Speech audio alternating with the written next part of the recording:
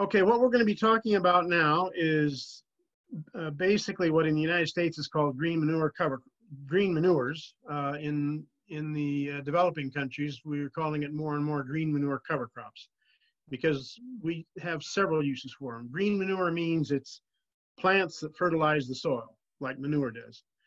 Cover crops are plants that control weeds. And actually, if I could change this name now, which I can't because it's it's very widely used at this point, I would add something else that that took in the also the factor that something we've discovered just in the last five to ten years of working with these things is that they also help control droughts. In fact, they pretty much eliminate droughts. The droughts we've been having in Africa that everybody else is attributing to climate change are about 20% because of climate change and about 80% because of the nature of the soil and the fact that the soil has lost all its organic matter or the vast majority of it. And therefore it can neither allow rain to come to infiltrate into the soil or uh, hold the rain once it gets in the soil. The, the water just keeps going on through. So these things in fact, as I say here, are a very low cost, often have a negative cost. Often they, they make farmers money at the same time that, do, that they're doing all these other things for the soil, the weeds, and uh, the droughts, and so forth. So it's, it's definitely a multi-purpose innovation. Um, and there are more innovations, that, uh, excuse me, more purposes that I will mention later. But this is basically a technology that is, is um, spreading quite quickly. Uh, because there are a number of traditional systems, the total number of farmers right now in the developing world using green manure cover crops is somewhere well over 25 million people. Now the ones that are introduced, have been introduced to this are probably some, probably closer to maybe three or four million.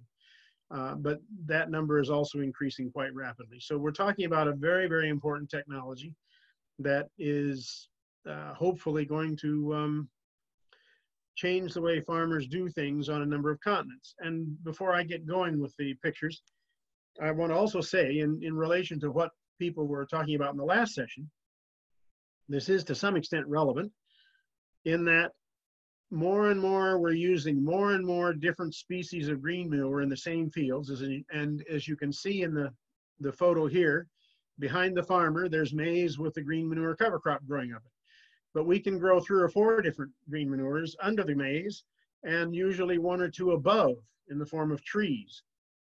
Uh, so that um, we, our, our golden rule of green manure cover crops, although it seems like a long ways away from something like alfalfa, which was used in the States for many years, is that we're trying, basically trying to recreate a forest. We want, we want farmers' fields to look more and more like a forest but still have room for the maize to grow in them. Now that sounds funny, but if you look behind this fellow, the maize has grown very, very well, yet he has another crop growing in there that's quite aggressive and is growing right up the maize.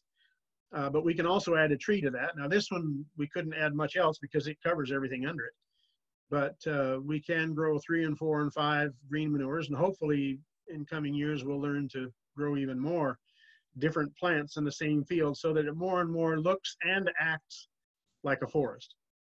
Roland, I'm sorry, a quick question. I don't understand manure. It's, you're just talking about another crop. You're not actually talking about any form of biological manure. Yes, green manure, green manure refers to plants that fertilize the soil. The word manure is there because they do the same thing that manure does, but Okay. they're plants. Great, thank you. In other words, that plant that's climbing up the maize behind this farmer here is what we call a green manure cover crop. Got it. Thank you. And there's nothing, there's no manure from animals in there at all. Okay, I'll, I'll explain why later. Um, now let's look at this photo in, in itself. It, it sort of is a, is a good overview of what green manure cover crops can do. First of all, look at the black soil at the farmer's feet. That soil was not like that color at all six years ago before this photo was taken. It was white. Uh, the amount of organic matter that's been put in that soil is a tremendous amount, and it does completely change the texture as well as the color as well as the water infiltration, as well as a number of other characteristics of the soil and the ability of it to hold moisture. So that's made a major change. Why? Because of the green manures. The, uh, another impact is what he's showing us in his hands. He has a small ear of, of corn in his left hand and two large ears in his right hand. That's the difference between what he used to harvest five years ago and what he harvests now from each plant. In other words, he's increased his yields by about three times, getting two large ears instead of one small ear on each uh, ear of corn. That means, for instance, that he more has more than enough maize to uh, feed his family, and he no longer has to work on, as a as a peon on a uh, sugar cane plantation about 50 miles away from home. He can stay at home, be with his family, and grow more maize than they will ever be able to eat. Where where is also- this, Roland? Pardon? Where where is he? Where is this guy, the farmer? Who is he? No, well, who or where is he? Ah, this this particular photo is from Honduras, Mhm. um, where I worked for about uh, 19 years. Before that, I worked in Guatemala for 12 years, and the last 10 years I've been working in in Africa, in a, a number of different countries. But uh, anyway, so so the next thing you can see in the photo is that there's some grass behind him, and all that his son is also sitting on. That's a Napier grass barrier that keeps the wa- the water uh, washing away with his soil. Uh, uh, it's on a contour, and and there is a hill behind him, although you can't see it because of all the the, the um, organic matter growing there, frankly. Uh, but uh, uh, and the amount of soil that that is trapped, that started to erode down the hillside and was stopped by the grass, is very easy to see because his son is sitting on that that pile of uh, ground. In other words, uh, gradually that row of grass, which was very easy to plant, took a couple of days uh, to to uh, protect a whole hectare of land, which is about two and a half acres. Um, and uh, now, after about six years, he's got almost a meter of soil that would have flown down the down the hillside if it hadn't been trapped by that grass, which he's sitting on. And the last thing I love about this photo is that that um, son is still living in the village in most of Honduras and, and huge areas of Africa. You never meet a young fellow his age in the villages because uh, they've all gone to the cities because they know that their their farms, their their their parents' farms are not going to be producing anything within 10 or 20 years. I mean, they're they're they're they're just going to no longer be producing. And Uh, so Roland, pardon me, this, right this is Charlie Shore. I have a statistic for Latin America, but in Africa right now, um,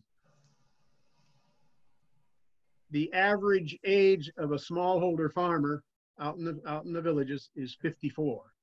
All the youth have gone to the slums because they just don't see any. Roland, pardon me.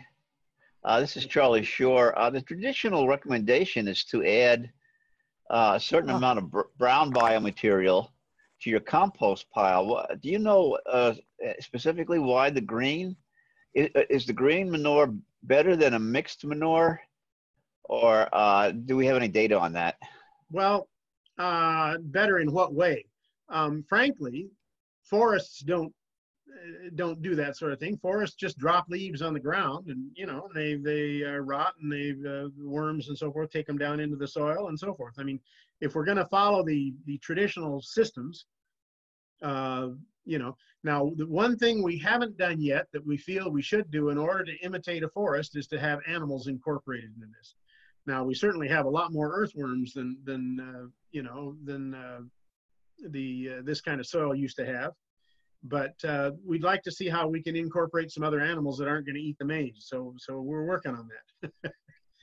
but uh, uh, the problem is the problem is comparing compost with this is is uh, is not very productive, and I'll tell you why in just a minute. Um, okay, we'll, we'll move to the next photo. Okay, when in world history were green manures first used? Now, I was going to ask everybody, but since this is a virtual conference, it's it's that's not so easy. But I'm sure the answer will surprise you.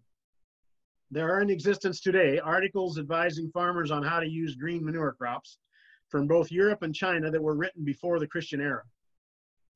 So these things have been around a long time. Now, a lot of scientific articles during the last, uh, well, especially in the 18 in the 1990s and the early 2000s, were uh, had tried some green manures in, in in ways you should never use them, and then concluded that because they hadn't worked, that green manures don't work in general.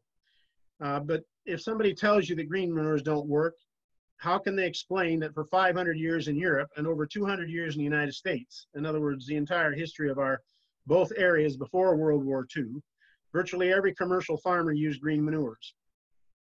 I mean, were, were farmers incompetent in those days? I don't believe that. I believe that in fact green manures do work, and I, I know they work because we we use them now, and farmers adopt them at a, at a very fast clip.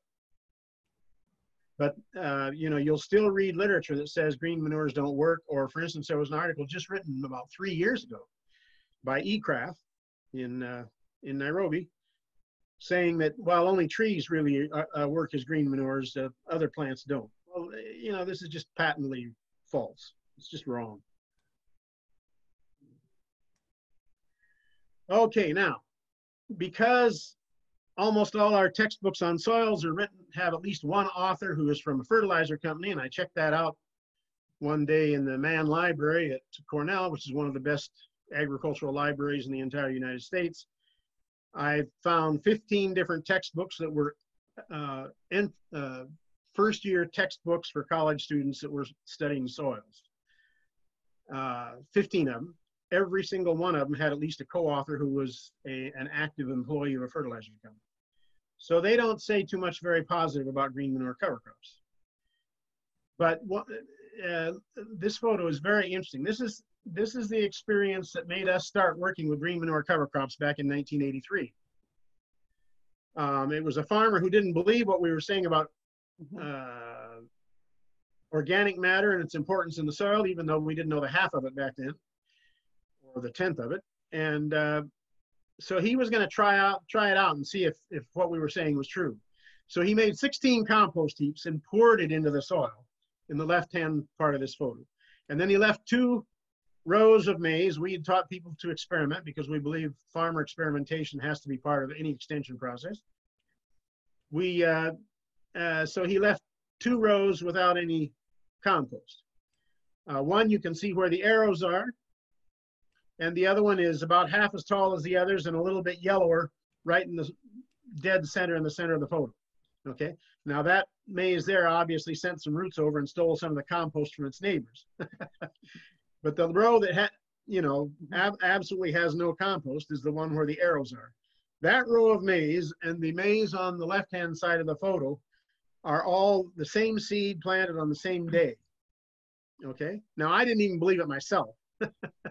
The farmer didn't show us this field until this day that I took this photo because he was so embarrassed that he'd been so wrong. and we had no idea that that, that, you know, a lot of compost could that make that much difference. We had no idea. But uh, you can see it there. In fact, uh, the day after uh, I took this photo, I went around to all this fellow's neighbors and asked them what they knew about these plots and whether the maize was all planted at the same time and whether he'd snuck a little bit of chemical fertilizer in there and all this sort of thing. And they said, no, no, no, that's all because of compost. Okay, so Roland, we I have decided a we had to do something to try and increase the amount of organic matter in people's soils. And uh, because the, the the problem all over the world is that the maize looks like the maize in the center there, and sometimes even the maize on the right instead of the maize on the left. Yeah, did somebody want to say something? Yes, I have a question. Yeah. I, I want to know, why do you use the term green manure rather than gilded growing? Is that for funding reasons or ecological reasons? Green manure rather than? Using the term growing in guilds. You're growing in guilds. You're growing up, uh, towards a seven layer forest system. Yeah. Um, And I so only why are use you that using term because that's the traditional uh, agricultural term. And then in Latin America, people have adopted green manure cover crops as a way of saying that we do both. We improve the soil and we control weeds.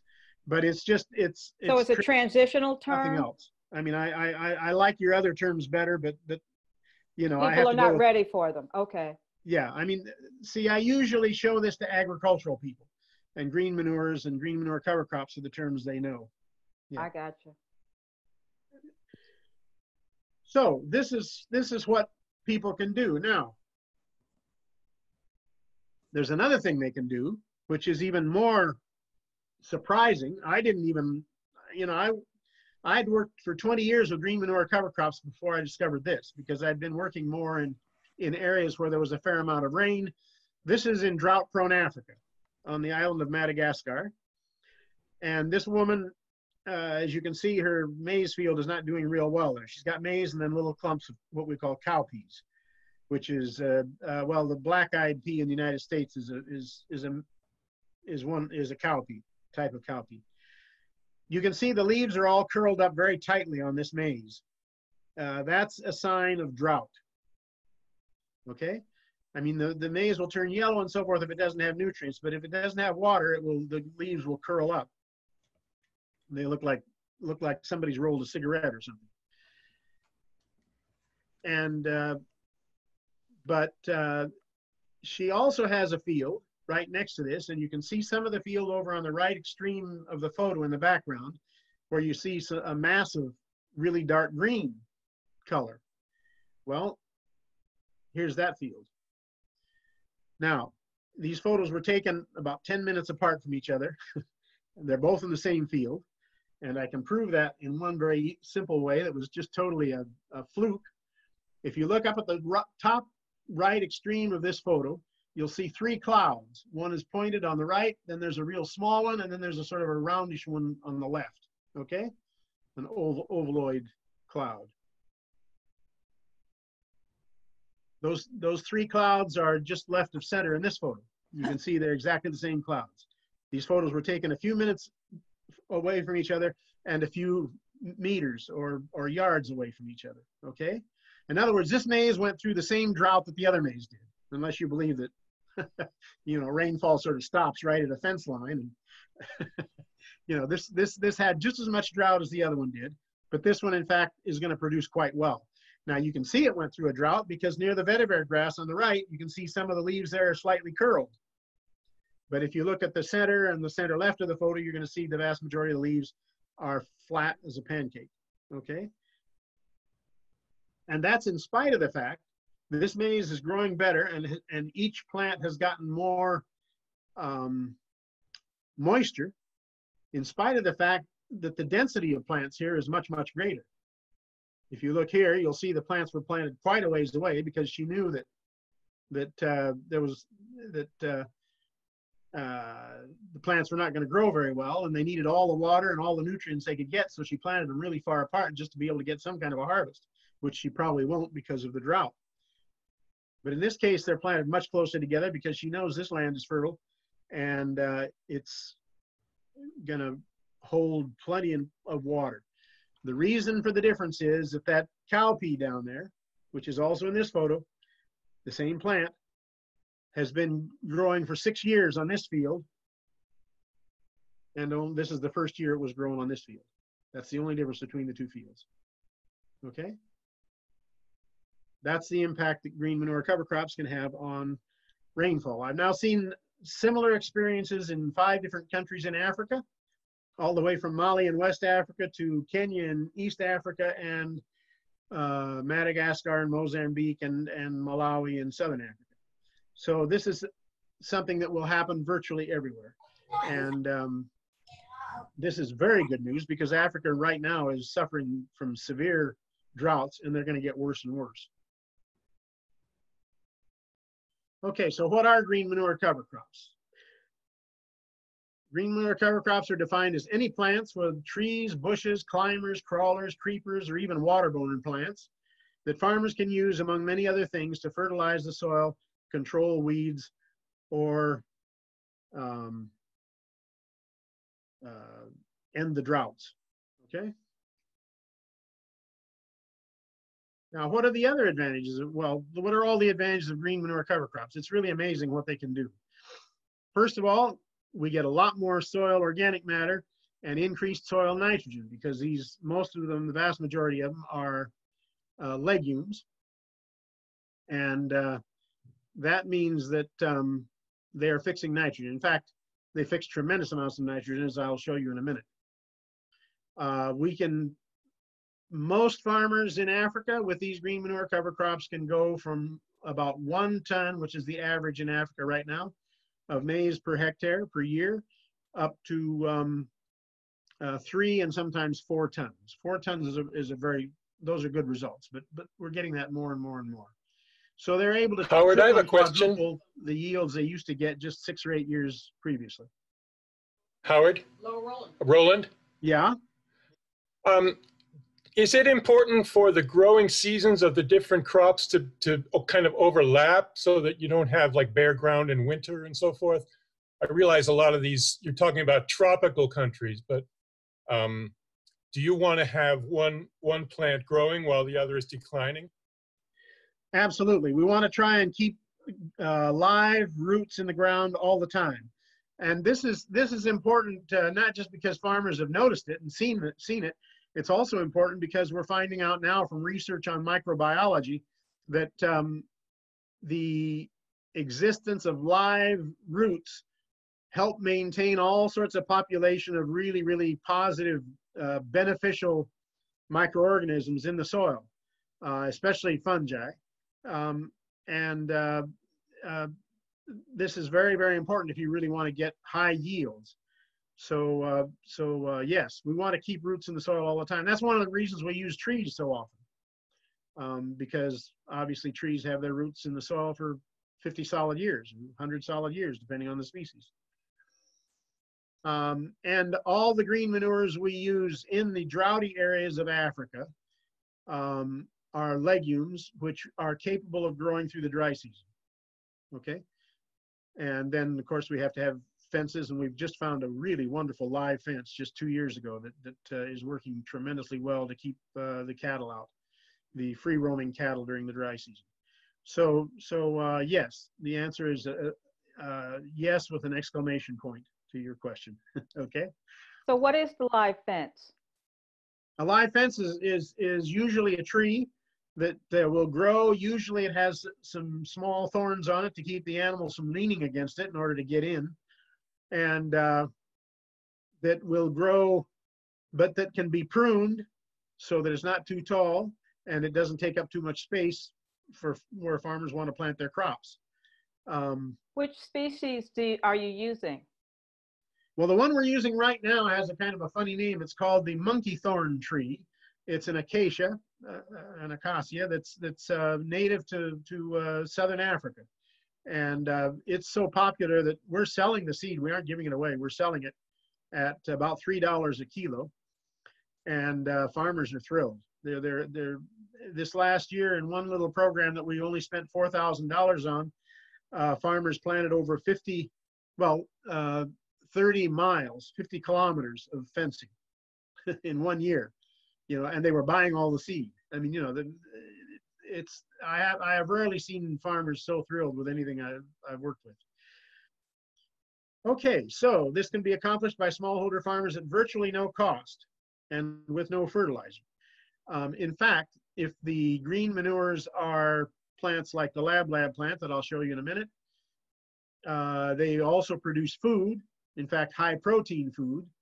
And that means that usually they are making money. Uh, the, the food will more than this, this food, if they sell it in the market, will more than cover the costs, the few costs they had in planting the green manure. So you're getting fertility, you're getting drought resistance, you're getting weed control at a negative cost in many cases. Okay, now not always. Sometimes there is a little bit of uh, cost in labor. There's no cost in in um, or well, okay, they have to buy a handful of seed to get started. From then on, they they they, they um, produce their own seed, and so there's there's after the first year, there's no cost whatsoever, and the handful of seed will cost a few pennies. So it's an extremely low cost technology that has tremendous impact on farmers' well-being. Three, high proteins for food. Legumes, of course, have more proteins than, than uh, most of the grains people are eating now. Four, fourth, dry season fodder for animals. We'll see a case of that a little later. Five, help in controlling weeds. And this is very important, especially for women, um, because, uh, for instance, maize has to be weeded twice. The second, and women do all the weeding of food crops. So that's a tremendous, that's, that's the worst, um, it's the worst labor women have to do during the year in terms of physical strength and, and just being out in the sun and the whole business. Furthermore, the second weeding happens right at the height of the hunger season, which, which comes before you get your next crops. So the second weeding, they're not only doing the, uh, you know, months of work swinging a hoe out in the fields, they're doing it without having had a decent breakfast or lunch or dinner. Um, so eliminating that second weeding is tremendously important for the women, believe me. Um, okay, prohibition of droughts. There was a farmer in um, in Zambia that we were visiting that was using green manure cover crops because of a of a non-governmental organization working there. Um, prior to my arrival, I mean, I had nothing to do with it, and um, uh, he, this farmer we were visiting, had wonderful maize, looking like the maize on the left of that first photo I showed you, or the second photo, and um, all around him, the maize was less than waist high and and in severe uh, uh, suffering severely from droughts. One of the uh, visitors with me asked him, "Well, what's going on here? How come how come your field is so much better than all the rest?" And the farmer said, "Well, those of us that planted gliricidia trees six years ago have prohibited the droughts." that was the way he said it. and I, I like that saying, so I use it. Uh, but anyway, we can prohibit the droughts. Seven, sequestration of tremendous amounts of atmospheric carbon, reducing climate change. Okay, this is something we didn't cotton to until about four or five years ago also. But we are putting 40 to 50 tons per hectare. Now this is green weight, not dry weight. 40 to 50 tons per hectare per year of organic matter in the soil. Very close to 50% of all that organic matter is carbon. Okay? So that means 25 tons we're putting in the soil each year. Now, of that, a lot of it will escape and be, uh, you know, it becomes part of microorganisms that breathe, and so they exhale some of it in, in, in the form of carbon dioxide, just like humans do, et cetera, et cetera. So, so of the long-term carbon, which is the important part, uh, when the soils, once the soils are fairly good, which, like I say, it takes four or five years, but once they've gotten their organic matter content of soil up to a decent level, the soil will sequester using even the sort of just medium quality green manure cover crop systems that we use will sequester somewhere around six tons per hectare of maize long term. Now that means, well, I'll, I'll talk about, well, actually, let me go ahead and say it now. That means that at that rate, and you can do the arithmetic if you want, uh, if all the farmers in the world, both large and small scale, were to use green manure cover crops and get the same levels of productivity. Now, farmers in the United States are going to have a rough time doing that because of the ecological conditions, but the ranchers should be able to, to uh, exceed it quite significantly. So they, should be able to average the same as what we're getting in Africa between the farmers and the ranchers. If all the farmers and the ranchers of the world were to sequester this much carbon in the soil long term, they alone would meet over 75% of all the carbon sequestration we need to do by the year 2100 in order to, to meet the Paris Accord goals. 70%. That's a that's a total uh, game changer. I mean, even even uh, you know, I read recent uh, magazines by Time and by The Economist, where they had the whole magazine dedicated to climate change. They never mentioned this fact once. They never mentioned anything about green, about cover crops. They, they don't even know that this is happening. But smallholder farmers in Africa, just the smallholder farmers in Africa, Asia, and Latin America could sequester over 5% of all the carbon that we need to meet the, the Paris Accord goals. And if all the farmers in the world, including the wealthy farmers, did the same thing, like I say, we'd meet over 75% of the the goals for for sequestering carbon uh, that were uh, stated by the Paris Accords. All a lot of this pessimism that both those magazines, for instance, had about reaching the goals is totally because of ignorance. You know, it's poorly informed um, judgments. Okay, now I'm sure you've never seen a, a photo a photo like this, at least not in any textbooks in the United States. These are the nodules from one single green manure cover crop plant from the uh, genus Mucuna. Okay, Mucuna pruriens. Okay? Those are whole golf balls of, of nodules. Now, if you remember your college textbooks, they would have one little, maybe two, one little nodule, maybe two millimeters in diameter, every inch or two inches along a root. Well, that's fertilizer company propaganda. that's nonsense. I mean, you know, we wouldn't work with these things if that's all they could fix. These things are fixing tremendous amounts of nitrogen in the soil. In fact, this particular plant is not the best we have. And uh, interestingly enough, the, the best plant we have for fixing nitrogen out of the more than 100 species of, of plants we use um, in different parts of the world, the one that fixes the most nitrogen is one that grows up in high altitudes in the Andes, which means it would grow very well in the northern United States. But I don't think, I don't know of anybody that has it. it's called um. Uh, and uh, it's a uh, it's a member of the lupin family. It also has a uh, edible seed to it, but it fixes the equivalent of in a hectare of about uh, six, what 16 sacks of urea would provide you, which Can is more than any farmer in the United us? States would ever put on his crops. Okay, it fixes 480 kilos of nitrogen per hectare. Okay, so you know the, we're talking about a totally new ball game in terms of how much nitrogen and, and how much organic matter we can get in the soil. Roland, Roland, could please you Now, spell I wouldn't it. have believed Can you Please spell Pardon? it. spell that word, please? The uh, name of the plant? Yes. Okay, I think in English it's spelled T A R W I. It's uh, Lupinus. Ooh, I can't remember. But anyway, it'll it, it should be on on uh, you know if you uh, Google that you should get it. Uh, in Spanish it's spelled T A R H U I, but it's a uh, like I say it's a lupin, and uh, it's grown all over the the Andes with, actually it has different names in Spanish, about a different name in each country. Okay. Uh, now Roland, this this this is Mucuna pruriens, and it's it'll be all over the literature. Is there any um, comparable one for North America that's a native that we could use without spoiling the native lupins or something? Uh, well, this isn't going to spoil any of your native lupins. I mean, they have it all over the Andes, and there's all sorts of other lupin plants there too. So I mean, you know, it's not.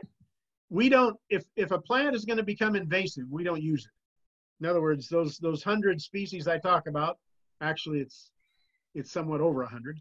Um, uh, and that doesn't even men- that doesn't even include the trees. But um, uh, of those, um, what was I going to say? Well, Well, I'm just looking for a Those- Native those- American. those I'm counting only those that we've eliminated. Those, those that we haven't eliminated because uh, they can be um, they can become a problem. You know, they can. Right. I was just wondering if you had North America ones that were native to North America. that we well- can use. the uh, the one I think I'm, I'm not sure if it's native, but it's been in, well, yes, it is because it was here before the before the uh, white people came. So yes, the uh, the one the one that would be the best is one you probably have eaten. It's called fava beans. Uh-huh. Now it'll fix it'll fix about a quarter of what that plant I was talking about does, but that's still that's more than enough for your crops to do very very well. Yeah, just grow fava beans. You know, uh, ro- rotate fava beans with whatever else you're growing in your garden, and you'll see a big difference in your garden. Do you, Roland, do you use, uh, on, on these fields that you're working with uh, in Africa and elsewhere, do you, do you also use no-till farming? uh, uh, Absolutely. Absolutely. In fact, we use conservation agriculture, which has three rules, one of which is is no till or, or minimum till at least. And um, frankly, what happens almost always with these green manures is after about two or three years, the farmers start saying, my gosh, my soil's really soft now. And uh, it's dark and everything. You know, I'm, I'm going to try not uh, plowing because, I mean, what's the point of plowing? I'm, it's like plowing the ocean. and uh, which is a Bolivarian Simon Bolivar said that. I, I wasn't the first one to invent that phrase. But anyway, uh, yeah, usually farmers themselves, after about three or four years, will realize there's no point in plowing anymore and they'll quit. Is that because the soil is simply soft enough to shove the seeds in without preparing uh, a row? Absolutely, absolutely. And the weeds are able to go way down into the soil without any effort and so forth and so on. Yes, Thank you. yes. Okay, um, which is another uh, reason why I say that these these things often are are uh, uh, have a negative cost because you know if you eliminate weeding and you eliminate plowing, uh, you're saving a lot of a lot of labor and a lot of cost. So you know the uh, for smallholder farmers. So uh, you know if you get something that can do both of those, then then you're going to save yourself a lot of money in addition to all the benefits that these things provide. Okay, uh, talking about high protein foods. I was in on the island of Sumatra once. Well, I've been there several times, but and uh, the the agronomists were telling me in southern Sumatra that well, you know, in Indonesia we don't have green manures because because um, we don't eat beans, we don't eat peas. You know, they cause flatulence, and we don't like that, so we just don't eat them. So anyway, the first lunch we stopped, the first time we stopped at a little uh, roadside restaurant to have lunch, they served us what you see in this photo. Well, the green pods there are cowpea pods. They're like green beans that we use, except a different species. The uh, the little sprouts are mung bean sprouts, which are also a green manure cover crop. And over on the left, you have tofu made out of soybeans.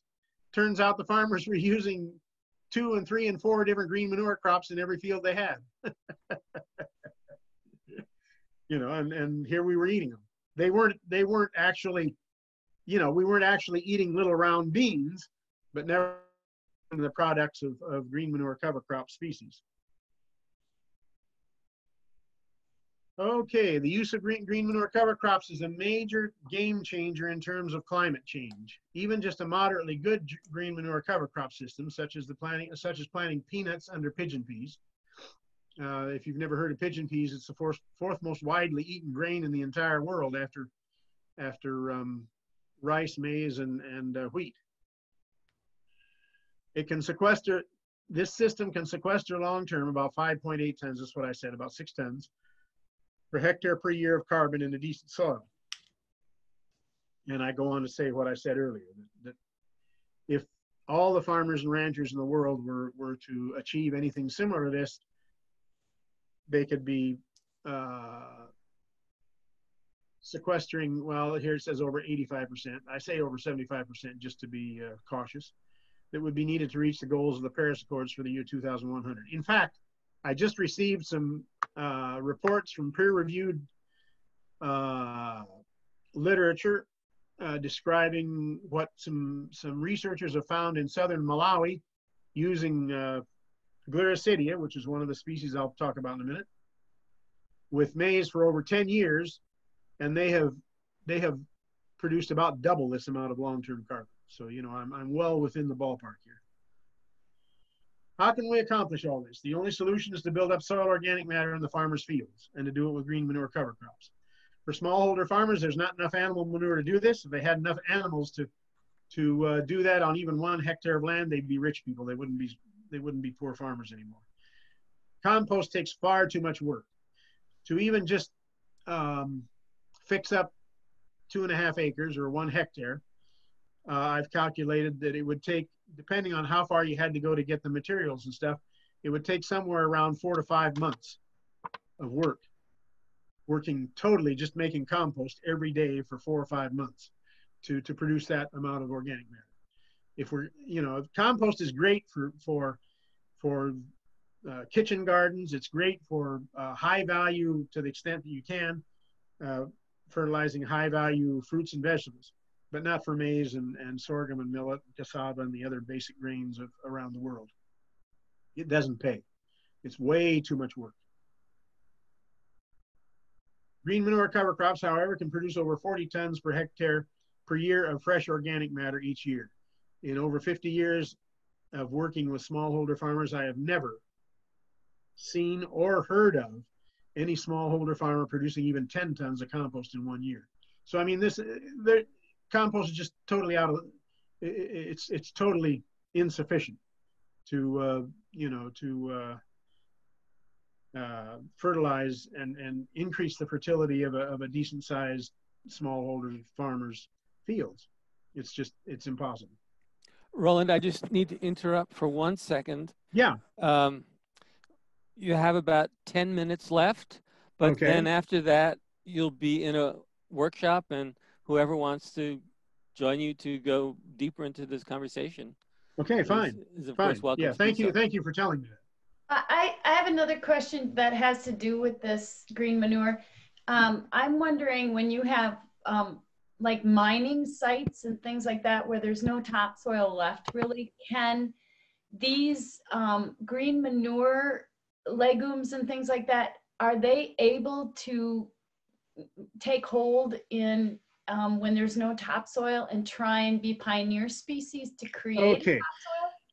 Um, in cases where they've taken off the top layer, like they're taking material for building roads or they're mining or something like that, then then uh, th- these things are not going to be able to grow.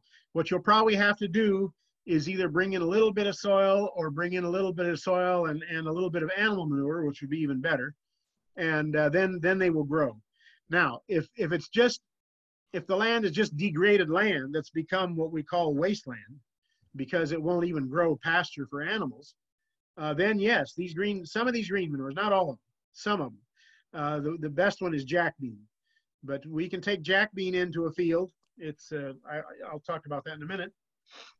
And um, the jack bean will grow, I've seen it grow in everything except established grasslands. Now, if the grass has been growing there for five or six years, uh, then then the, the jack bean can't compete with the grass roots. The- it- it- the- it's just too big a mat of roots that, that competes with the jack bean, so it won't grow or it won't grow well.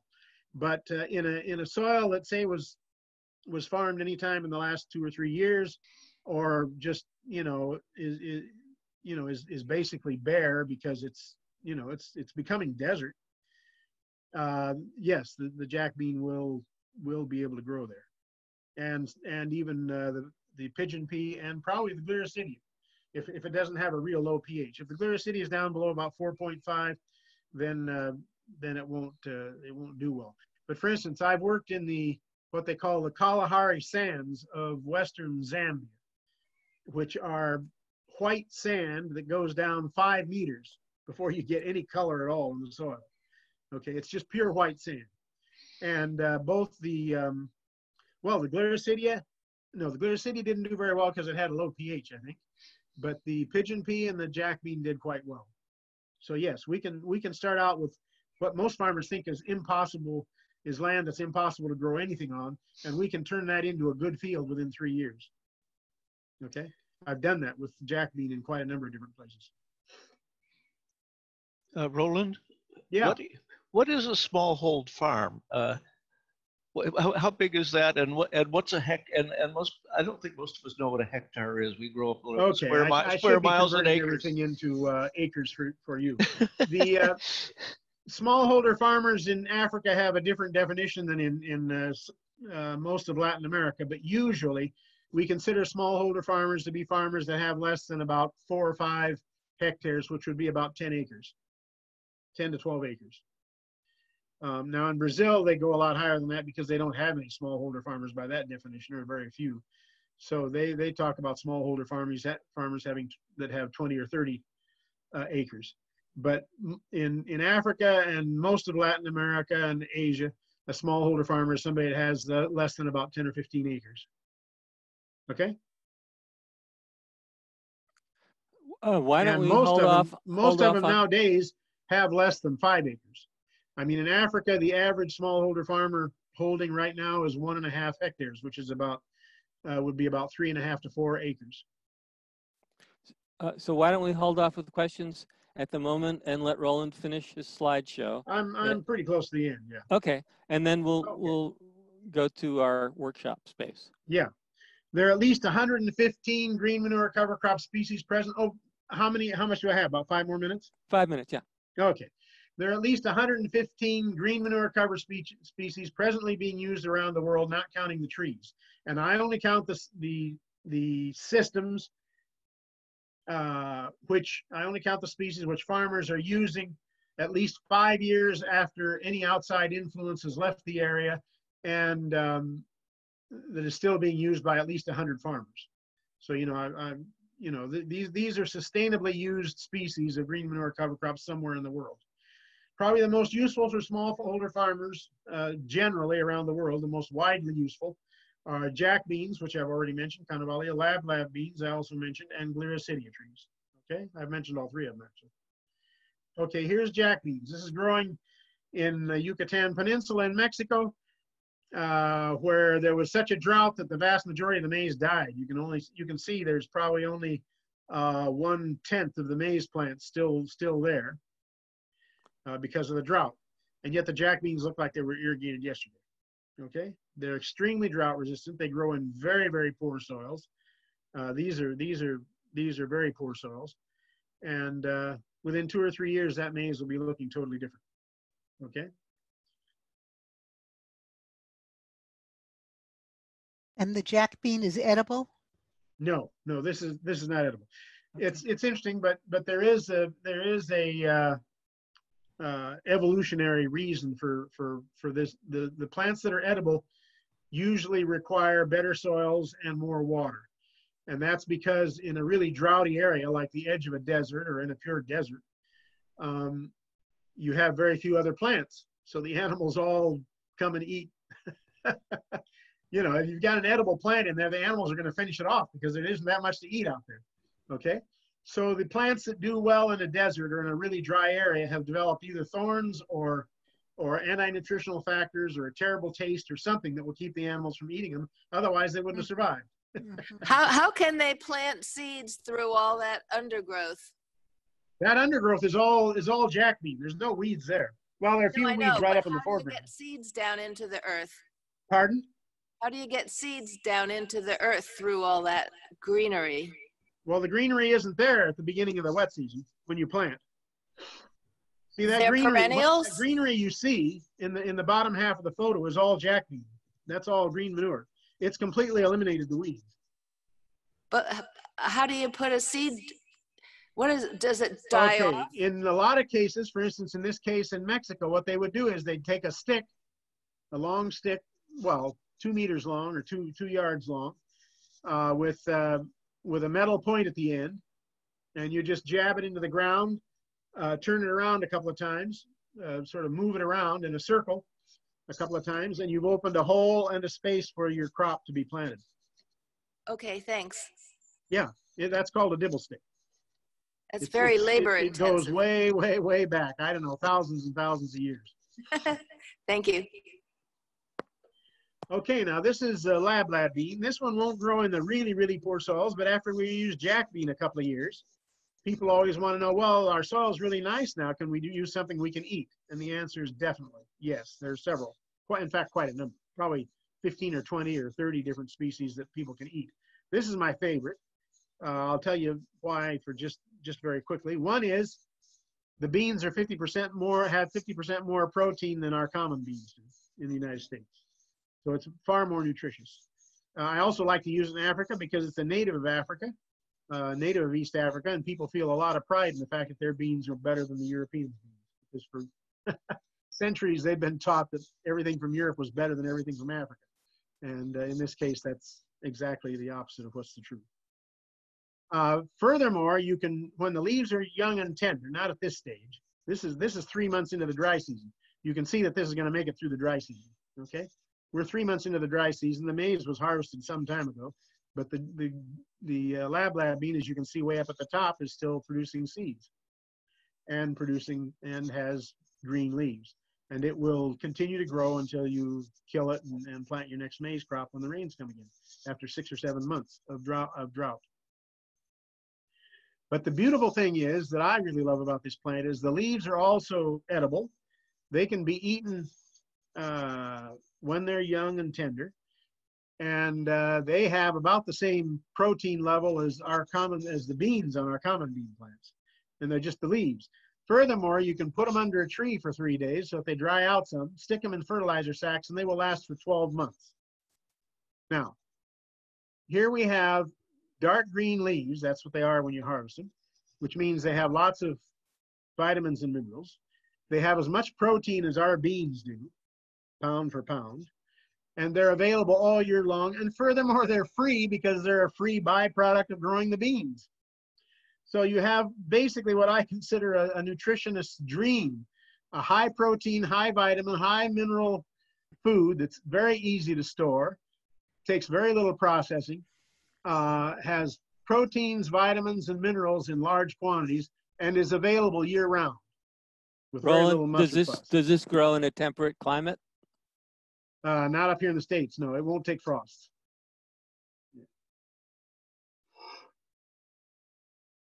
But it's absolutely wonderful for, for virtually the whole developing world. It's, it's now grown all over.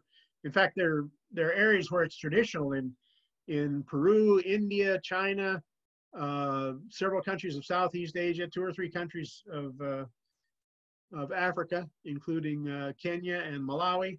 It's already traditional. And what we're doing is just spreading it to the rest of the areas. So it would grow in California and in Florida, here in this country? Probably Southern California and Florida, yes. Mm-hmm. So I've never tried it, but yeah, I, I, I'm, I'm sure it would. Now, here's one of the trees we use, Gliricidia. These Gliricidia trees, believe it or not, are only four years old. So they're very fast growing. They produce a tremendous amount of biomass, which is good for the soil. It's also good for the, um, and it's also good for the uh, cattle. You can see we're toward the end of the dry season. There's nothing on the ground. The cattle have nothing to eat except tons and tons of Gliricidia leaves. Uh, the Gliricidia leaves are very high in protein and very good for cattle. In fact, there are university educated um, uh, dairy farmers in northern Honduras, large scale dairy farmers that feed their cattle nothing but pasture grass, Gliricidia leaves, and salt licks. Okay, I mean, it provides all the protein animals could use and a lot of the vitamins and minerals. Uh, the flowers are edible, so people can also eat something off this tree. And uh, furthermore, the, the trees, if they're properly pruned, now in this case, they weren't pruning them very much because they were making so much money off the seeds because they, these were so popular with other farmers, they were selling the seeds for a dollar a kilo, which was big money for them. But anyway, if you pruned them more heavily, the crops under there would grow much better than they do without any shade at all because in the lowland tropics, they, we already, with global warming, have an excess of heat. So by having these tree, trees there, you actually increase your maize production. And as you can see, that the, the rows there, the maize rows, well, in this case, millet rows, uh, go right next to the trees. They don't lose a single inch of, of growing space for their, for their food crops.